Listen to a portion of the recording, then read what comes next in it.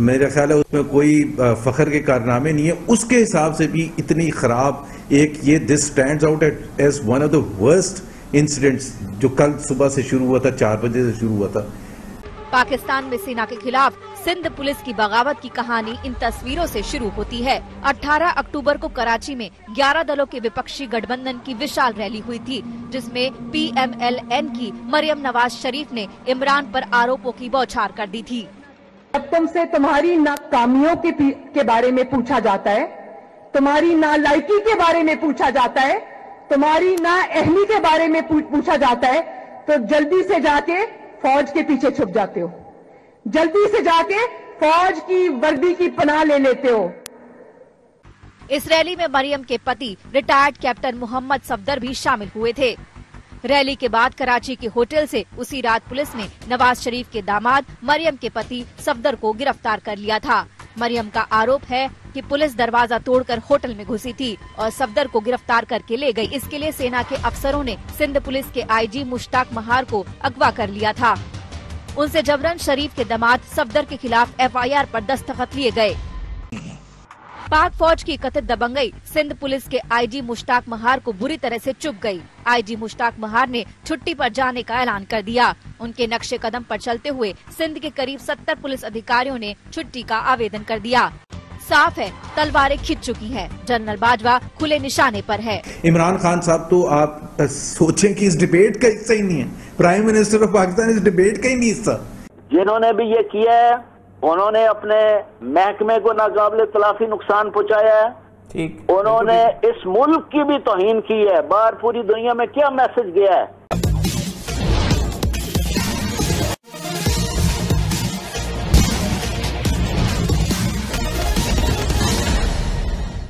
पाकिस्तान के अंदरूनी हालात तेज़ी से बिगड़ रहे हैं।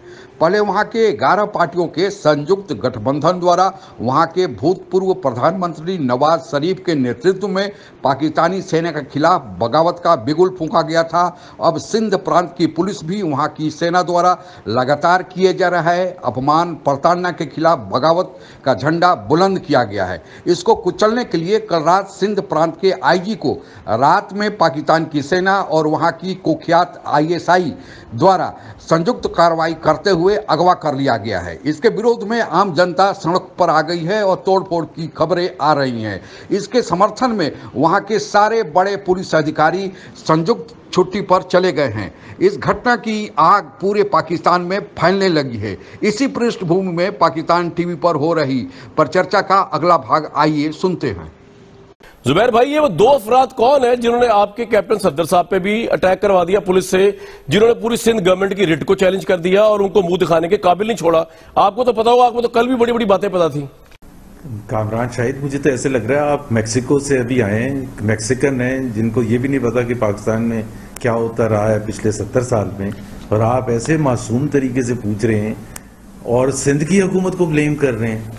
कि जी कौन लेके गया था? अभी मुझे बताएँ, एक तो सिंध पुलिस ने तो अपना मौकफ दे दिया कि जी, वो रिस्पॉन्सिबल नहीं थे और उन्होंने एहतजाजन बत्तीस टॉप अफसरान का एहतजाज है। कुछ छोटी बात नहीं है, पाकिस्तान की जो पॉलिटिकल हिस्ट्री है, जो मेरा ख्याल है उसमें कोई फखर के कारनामे नहीं है, उसके हिसाब से भी इतनी खराब एक ये this stand out at as one of the worst incidents जो कल सुबह से शुरू हुआ था, चार बजे से शुरू हुआ था। दूसरी बात यह है कि सिंध की गवर्नमेंट बिल्कुल क्लियरली उन्होंने कहा पीपल्स पार्टी ने कि हमें बिल्कुल आ, नहीं पता था क्या है। इमरान खान साहब तो आप सोचें कि इस डिबेट का हिस्सा ही नहीं है। प्राइम मिनिस्टर ऑफ़ पाकिस्तान इस डिबेट का ही नहीं हिस्सा। तो एक तो बिल्कुल क्लियर है जो मियाँ नवाज़ शरीफ ने कहा था आज इंडोस हो गया। पाकिस्तान में एक नहीं दो हुकूमतें हैं। ये जो है ये जिन्होंने भी ये किया है उन्होंने अपने महकमे को नाकाबले तलाफी नुकसान पहुँचाया है।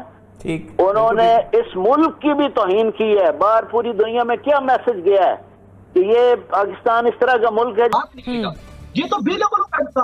आपको खुद पता होना चाहिए था कि शाम तक इसकी जमानत हो जाएगी। तो हम इसको आराम से भी पकड़ सकते हैं।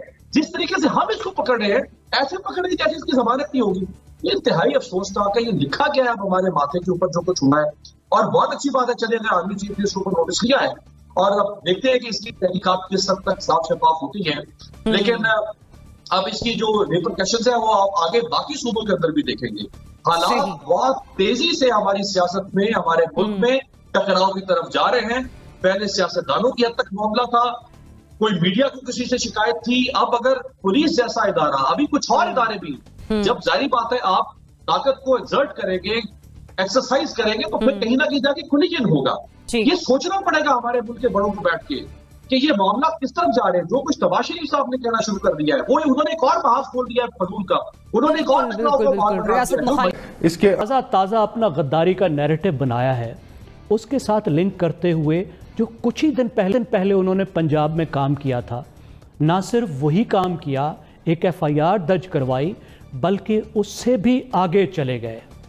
और उसके नतीजे में जो बहरान पैदा हुआ है वो हमारे सामने है। देखिए, ये बहुत बड़ा बहरान है।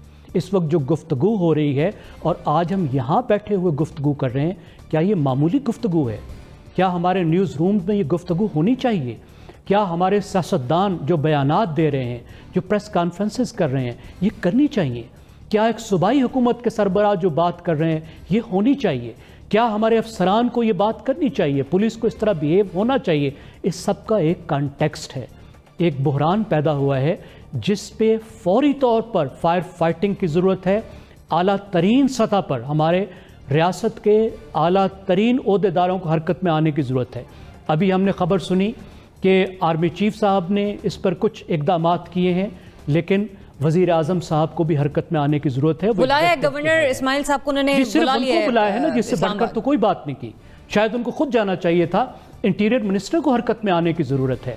और साथ इनको चीफ मिनिस्टर सिंध को इन्वॉल्व करने की ज़रूरत है।